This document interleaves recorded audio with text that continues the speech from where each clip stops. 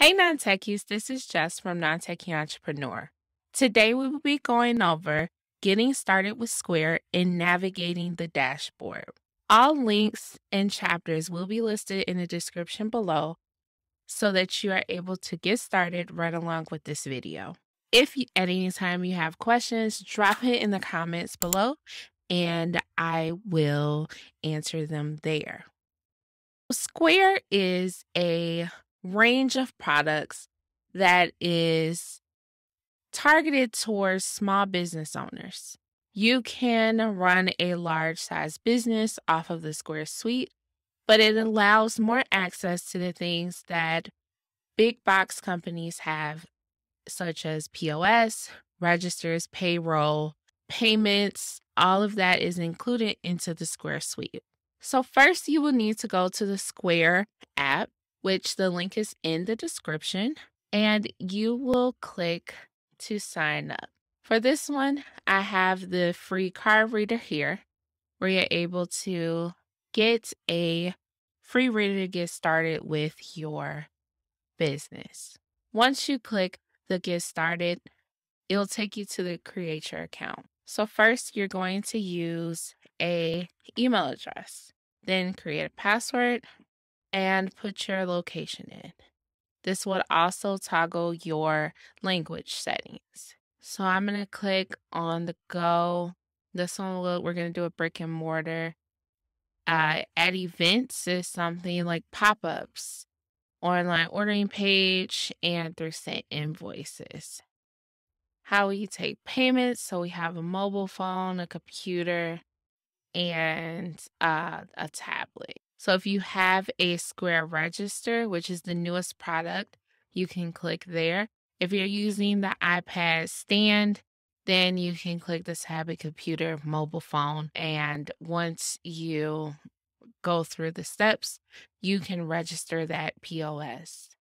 So I click continue and it will ask you what can they help you manage to create an item category. That is something we're going to need if we are putting in items or services into our store. If you have employees that you would like to pay or just track time with, you can click Manage Employees. Payroll, you can do payroll through Square. Set up gift cards. Gift cards can be e gift cards or physical gift cards. The e gift cards do not have a cost to use. The physical gift cards, you do have to purchase the gift cards to be sent to your business location.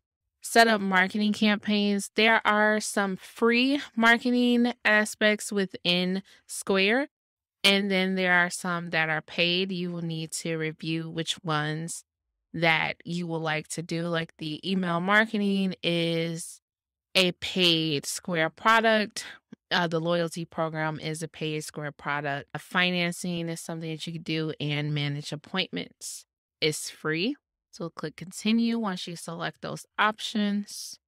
During setup, based on your business type, Square will recommend different products for you. Since this was a food and drink business, they are going to set up my restaurant because this is a food and drink business. So I'll be able to create menus at a point of sale, start selling. And it's the standard 2.6 plus 10 cent for the swipe, tap, or the inserts. There is a Restaurants Plus, which is a more for more table service type businesses if you're running something like a cafe, a coffee shop, a small catering business, you're able to run on the free square.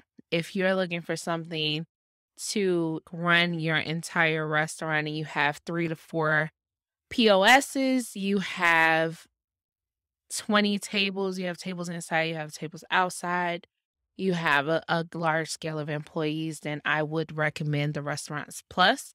You can get started for free and if you would like to update your plan to the plus, then you can do that within Square. So the next step is to set up your menu, which will display on the point of sale. And that will take you to the menus portion of Square. So if you're already set up on DoorDash, Uber Eats, Grubhub, you can import menu. You can build it manually or upload a current menu and they will build it for you. So that is the steps of creating your business depending on the type of business you have. You will have different options when you get to this point. If you are doing a service based business, you will have the invoice and the appointments and it will take you through to add in those services. This is a food and drink business, so that is why we have been set to now start creating our menu. So, starting from the dashboard, when you log in, this is what you will see every time. Up above, we have the menu, which you can collapse on the side, the square logo in the middle, search, this is the virtual dashboard to where the virtual terminal to where you can process payments straight from your desktop without having to use a card reader. Then this icon here gives you your messages so that customers can talk to you. They can reply to your emails, they can reply to your texts that you send for their orders or marketing here are where your notifications will live. There will be a little dot that tells you that you have a notification. This is the help portion, and where your name is where you will find the settings for this business. So, as I'm logged in, I am the owner of this business. I have my account settings, seller community, order a reader, get free processing, tour your dashboard, and sign out. To the left is where all of the Square products live. So we have our quick access, which if you click edit, you can update which products you want in this main menu. So if I wanted to have online checkout, gift cards, and balance as a quick access, I could have them here and I can remove the items that I don't want to see right up top. And it will update here. Then below this line, we have all products. So they're categorized as these main items and orders reporting, staff, e commerce, banking, customers, payments, POS system settings. Each one has a sub menu. For items and orders, you have your orders, your menus, and your items. Reporting gives you your reports and transactions. Staff gives you team shifts and payroll. E commerce gives you online, online sales channels. Banking gives you balance and loan. Customers give you marketing, loyalty, customers, appointments, contracts. Payments gives you gift cards, invoices, online checkout, virtual terminal, risk manager, subscriptions. POS systems gives you Square for restaurants, Square for retail, and Square appointments. Settings gives you account and settings, devices, and app integrations. Then here at the bottom, you see more from Square, which will open up the window to show you the grouping of their offerings. So under customers, we have appointments, customers marketing, contracts, loyalty, items and orders, e-commerce. You get to see the menu in a larger scale, broken down. Then we will use our quick access to come back home.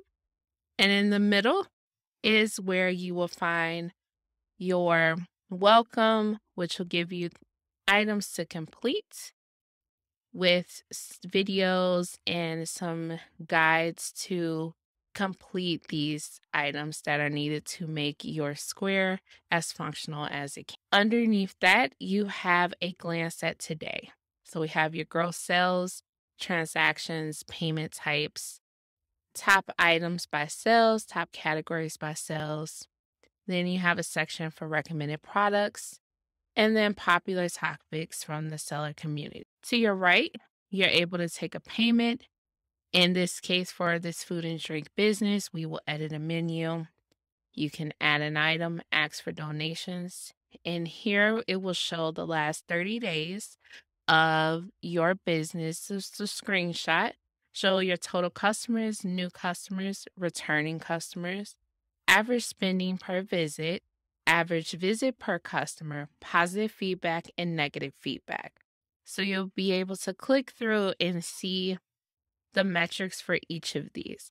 But it's built to give you a screenshot of how your business is doing in the last 30 days and also for today. So that is how you get started with Square and you're able to utilize the tools immediately for your business type and how to navigate the dashboard.